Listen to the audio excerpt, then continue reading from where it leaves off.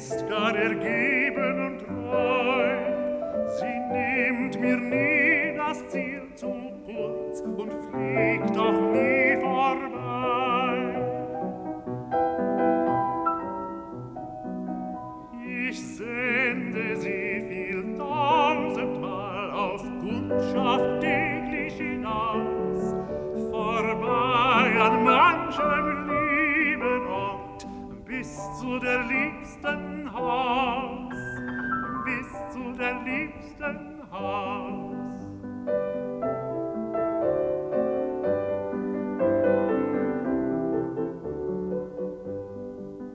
Dort schaut sich zum Fenster heimlich hinein, belauscht ihren Blick und schritt, gibt meine Grüße, scherzend ab und nimmt sie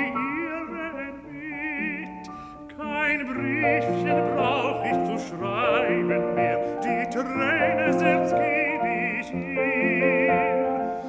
Oh, sie verträgt sie sicher nicht, gar eifrig dient sie mir, gar eifrig dient sie mir.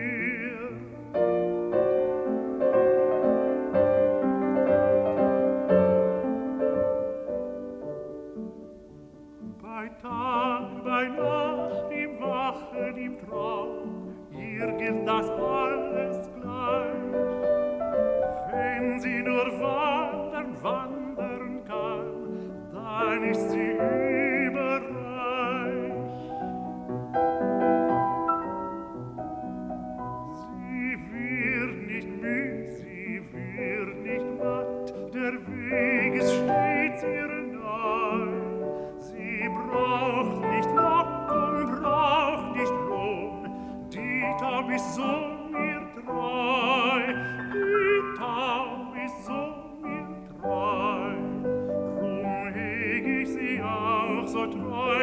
Brust versichert dich schön.